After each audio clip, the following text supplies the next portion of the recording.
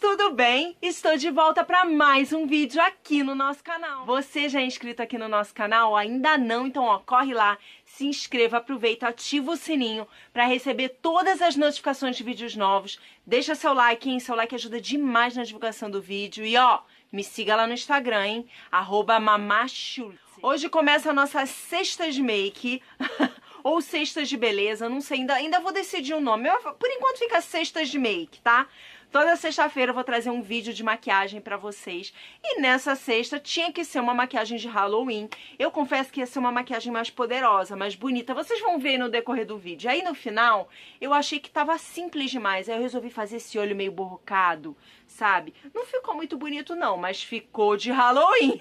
eu vi umas meninas fazendo umas, umas maquiagens tão princesinha de Halloween, sabe? Bonita a maquiagem. Eu falei, ai, mas não tá assustando. Eu quero uma coisa mais, mais eu, assim, mais. Gente, então hoje eu vou ensinar vocês a fazer essa maquiagem. Se você quer aprender, vem comigo. Então bora começar essa make, galera. Vamos lá, ó. Vou começar usando o meu quartetinho de sombras da Ruby Rose e vou delimitar a sobrancelha. Sim, minha pele já tá limpa, tá? Aí eu sigo delimitando a sobrancelha. Delimitando não, gente, preenchendo a sobrancelha para tirar as falhas e ficar com ela bem certinha. Agora eu vou vir com um primer, eu vou usar esse aqui da Ruby Rose, que na verdade é um sérum, né? Mas você pode usar um blur ou um, ou um primer, o que você tiver aí na sua penteadeira. A gente tá preparando a pele para receber essa make. Agora eu vou delimitar essa sobrancelha, eu vou usar esse corretivo aqui da Bruna Tavares.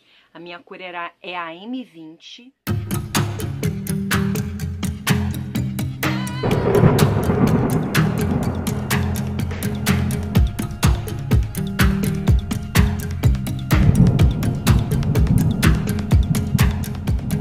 Bom, agora eu vou selar essa pele, eu vou usar um pó bem clarinho. Aí eu vou selar essa pele aqui do olho porque a gente vai começar a fazer o olho. Gente, eu vou usar esse pigmentinho aqui, ó, a tampinha dele, da Vult. Ó, é um pigmento preto. A cor é 06, é um bem pretinho. Ele tem umas partículazinhas de brilho. Aí vou usar um pincelzinho de esfumar. Vou usar esse aqui. Esse aqui é um da Dylos 18. Vou sujar ele, ó, botei aqui na minha paleta, porque ele é um pozinho solto. Vou sujar o pincel, bater, ó, pra tirar o excesso. Vou vir aqui no cantinho e vou depositando essa sombra. Descendo assim meio na diagonal, tá vendo? Mais um pouquinho, tiro o excesso. Agora eu vou pegar um pincelzinho limpo e vou vir segurando bem na beiradinha e vou vir esfumando essa sombra puxando ela bem aqui pro meio. Estão vendo? E tirando essa marcação da borda, deixando ela bem esfumadinha. Vou pegar mais um pouquinho de sombra com o mesmo pincelzinho que eu tava usando. E vou botar mais um pouquinho, mais aqui na, na bordinha. Na parte de dentro do olho, na bordinha foi boa, né? Não tem problema que suje um pouquinho embaixo, porque eu não fiz a pele ainda. Coloquei mais um pouquinho, volto com o pincel de esfumar. Esfumo mais um pouco.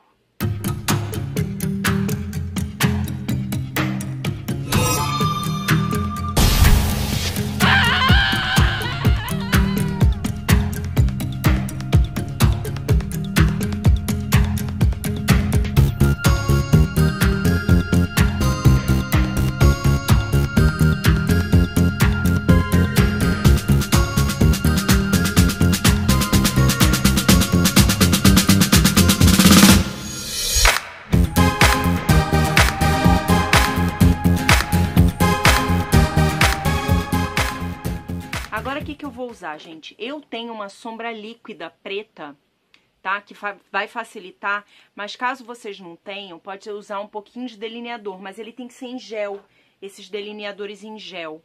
Ou, se você não tiver nenhum nem outro, você pode botar, tentar botar um pouquinho mais de sombra preta. Uma, essa sombra da Vult é muito boa, que ó, ela pigmenta muito bem. Mas eu vou usar isso aqui e vou botar bem aqui no cantinho. Descendo um pouquinho em diagonal. Vocês estão conseguindo ver? Quase nem é, nem é perceptível, porque essa sombra da Vult é sensacional. Agora eu vou até ajeitar ele aqui dentro com um pincel de delineador. Gente, essa sombra preta líquida... Ih, eu botei a mão suja aqui. Mas não faz mal, que a minha pele não tá pronta, gente. Eu comecei pelo olho, aí a gente pode fazer essas coisas. Deixa eu até limpar aqui minha mão. É, essa parte do, do, que eu usei o delineador é, na verdade, só para deixar o olho mais preto. Vocês precisam usar? Não precisam se preocupar. Se vocês só tiverem uma sombra preta, tá com uma sombra preta. Se quiserem uma dica de sombra preta que pigmenta bem, essa sombrinha é um pigmento é, cor número 6 da Vult, é que aqui quase não dá pra ver, tá escrito Vult. É, e esse aqui também é muito bom, se vocês puderem, é da Índice, é Eye Gloss. Ele é preto, ele não é muito barato. Eu comprei na Sophistiqué, é, eu tava lá, tava com 50% de desconto, mas ele não é muito barato não. Mas é uma coisa que, se você gosta muito de make, vale a pena ter, gente, porque é muito bom. Bom, é, o olho é basicamente só isso, não tem muita coisa. Eu vou esfumar um pouquinho mais aqui a bordinha aqui em cima, pra ficar mais bem acabado. O olho é basicamente isso, a gente vai só dar uma ajeitadinha. Agora a gente vai limpar essa sujeira toda aqui que eu fiz com lenço umedecido. É, esfumado preto, na verdade, vocês viram que eu não fiz nada, eu só colocava e esfumava. O segredo é esfumar. Então, é, se você acha que não tem... Ó, aí a gente vem limpando, gente, desculpa interromper aqui o, o raciocínio. Com lenço umedecido, quando for trabalhar com preto, eu sugiro que comece pelo olho, principalmente se você não tem tanta habilidade assim para trabalhar com sombra preta que aí a chance de errar é bem menor. Ó, limpei até aquela, aquela sujeirinha que eu tinha feito. Pronto. O olho, basicamente é isso, gente. Olha só que bonito. Como é uma make de Halloween, eu quero uma pele bem branca, eu vou usar uma base bem clara. A mais clara que eu tenho é essa daqui. Eu tenho uma, essa aqui da Dylos também, ela é bem branquinha, mas essa daqui é mais. Então eu vou usar ela e se eu tiver achar que ficou branco demais, eu ponho um pouquinho da da Dylos. Mas essa daqui é da Ruby Kiss. Esse tom aqui que eu tô usando é a W, é a natural. Tô dando lote. é a cor natural, ela é bem branquinha. Ela não é o meu tom, gente, ela é bem mais bem mais branquinha, bem mais clara que meu tom de pele. Ó, eu coloquei aqui no dorso da mão. E aí, ó, eu devia ter passado um corretivo antes, mas como essa base é tão clarinha, que eu achei que não tinha...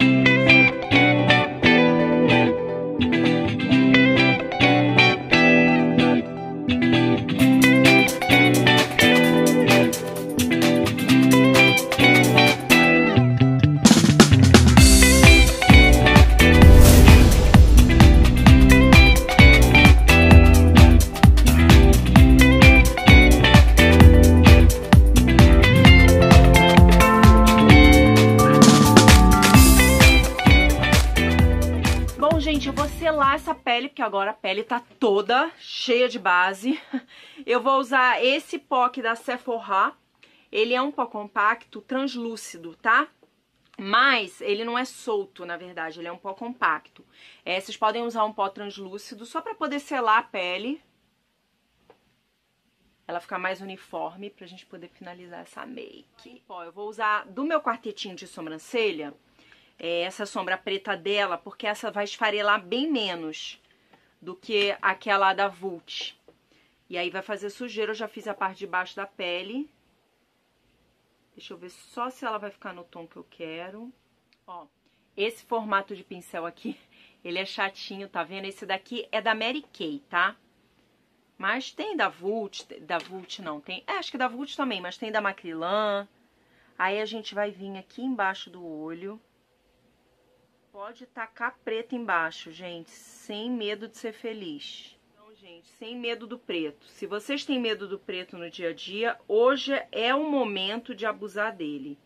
E outra, como é uma maquiagem de Halloween, mesmo que o esfumado de vocês não fique muito bonito, não faz mal, gente. pretão, bem do jeito que eu quero. Agora o que, que a gente vai colocar aqui? Um cílio postiço, gente. O cílio mais dramático que vocês tiverem. Se vocês querem usar, ó, tipo esse aqui, ó. Ele é bem dramático.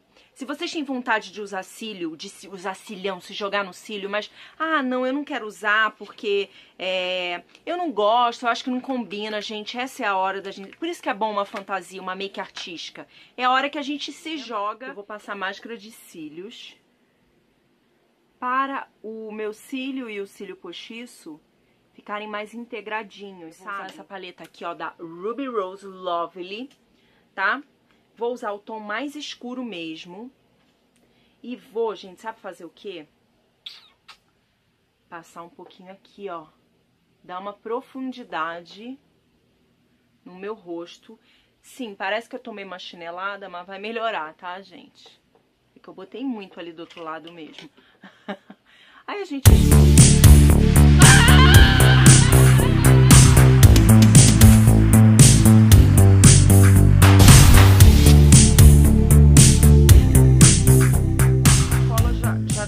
secada, já secou.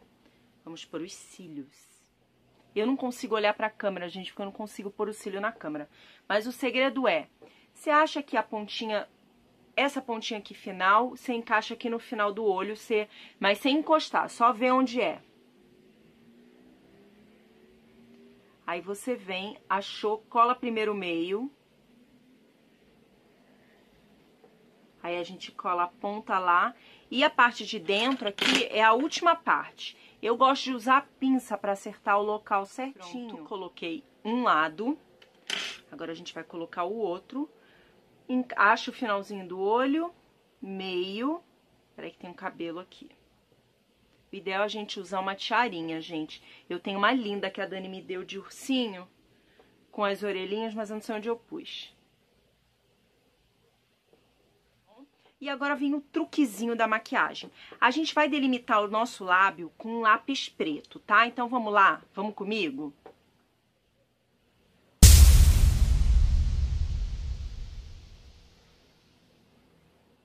Marcamos com preto, a gente vai vir com batom vermelho.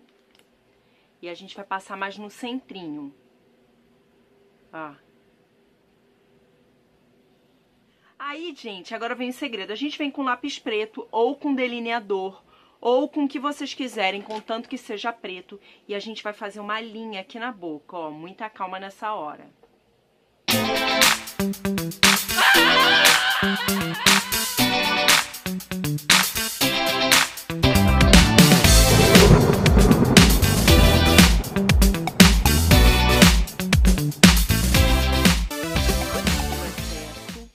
Iluminador aqui, ó. Porque não é porque a gente tá no Halloween que a gente não pode ser glow. Pontinha do nariz. Gente, estamos quase pronto. Eu tive uma ideia. Aqui no finalzinho do olho, eu vou dar uma borrada. O que, que vocês acham? Não tava nos planos, hein? Aí eu botei um pouquinho da sombra líquida. Mas pode ser o seu delineador. Bom, gente, então como eu falei, é, vocês, é que a bateria acabou bem na hora, gente. Vocês vão pegar o delineador ou uma sombra e dar uma borrocada aqui embaixo, ó. A gente coloca um pouquinho de delineador, lápis de olho, é, sombra, o que for.